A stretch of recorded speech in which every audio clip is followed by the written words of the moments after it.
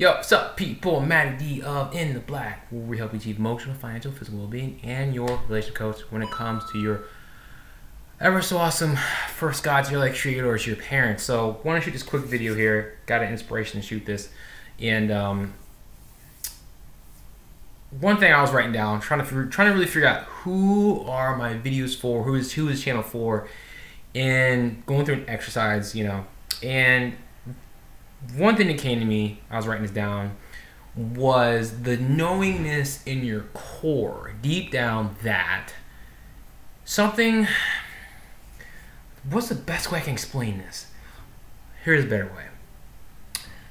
Growing up as a teenager, when I was when I was first experiencing issues with my mother, and for a long time, I always had this knowing that something that I wasn't crazy, that the way I felt wasn't wrong. Like something just isn't right. Like I shouldn't have to go through with this. Like this things things need to be different. Like this doesn't make any sense. Like why do I feel this way? And I shouldn't do this stuff. And you know, people would tell me, "That's your mom. You, you should honor her." I'd be like, and something something inside me would, would, just, would just would just say, "No, I don't have to do that." Or a long time with my sister. To this day, will will will still tell me, "Well, Matt, you need to show mom that you."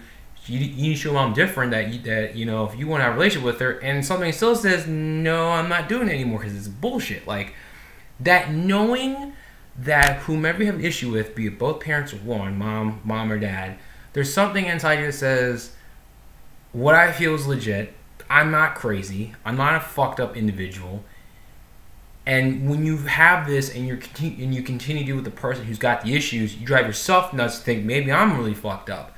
And once you break away from the person, you realize I'm sane, I'm okay. They're the one with the issues, but they put it on me, either on purpose or unconsciously, and you're like, ah, it's crazy shit. But that knowingness, that deep down, that like, I'm not crazy. What I feel is right. What I feel is legit. And I'm gonna follow through with this and if it causes pain and anger, you know, well then so be it. If that's what you're feeling, I'm telling you right now, I've been there. It's legit.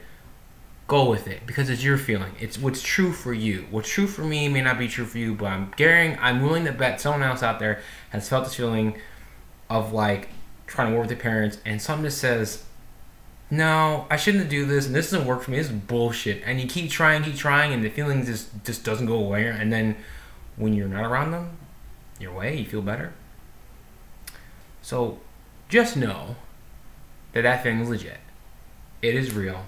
Listen to it because it's guiding you and helping you to maintain your sanity and save your happiness and your health.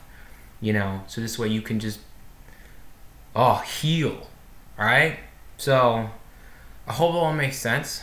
Let me know what, what your thoughts are in the comments below like this video, share it if you feel like someone else can use this.